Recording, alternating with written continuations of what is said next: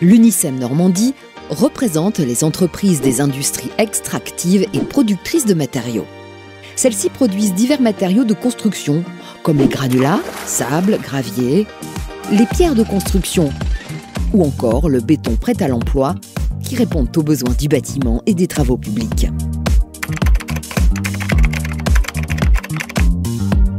Les granulats sont de petits morceaux de roche extraits des carrières terrestres et de gisements sur les fonds marins. En Normandie, leur production s'élève à environ 22 millions de tonnes par an. Une fois extraits, ils sont concassés et nettoyés, puis sont transportés vers les points de transformation qui peuvent être des centrales à béton ou des centrales d'enrobés, ou directement vers les chantiers du BTP de la région. En camion, la distance moyenne est de 33 km. En bateau, via la Seine, pour approvisionner le marché de la construction en Île-de-France. Ou en train, pour certaines carrières embranchées fer. Les granulats sont indispensables à la construction des maisons d'habitation, des immeubles, des usines, des écoles, des hôpitaux, mais aussi des routes. Les routes sont composées en moyenne de 90% de granulats. Qu'il s'agisse de petites routes de campagne ou d'autoroutes, trois couches de granulats sont mises en place sur une épaisseur variant de 20 à 70 cm. En Normandie, la production de granulats est équitablement répartie sur le territoire. À toutes les étapes du cycle de vie de ces matériaux, leur transport est crucial. Il doit être le plus court possible et utiliser les moyens les plus adaptés et les moins impactants pour l'environnement.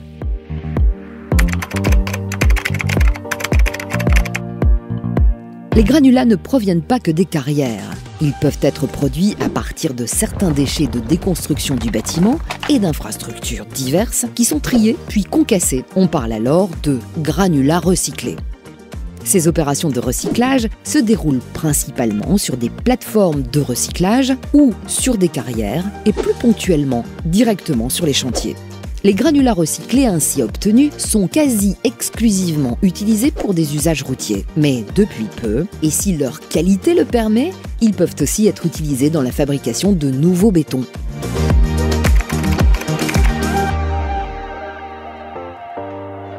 Et si on revenait sur nos carrières? Les carrières sont des installations classées pour la protection de l'environnement.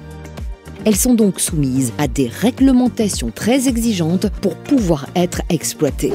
Tout au long de la vie de la carrière, un programme précis est établi entre l'exploitant, l'administration, les élus et les associations afin de prendre en compte les écosystèmes locaux.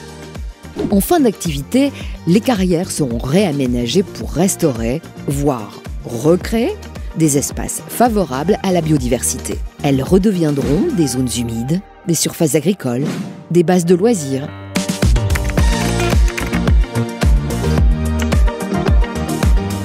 Lors de la déconstruction de bâtiments et d'infrastructures, les déchets qui en sont issus servent à produire de nouveaux granulats utilisés pour la construction dans une logique d'économie circulaire.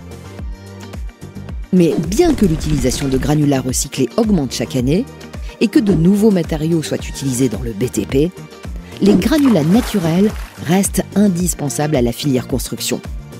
La complémentarité des matériaux doit être mise en avant selon la logique du bon matériau au bon endroit pour le bon usage.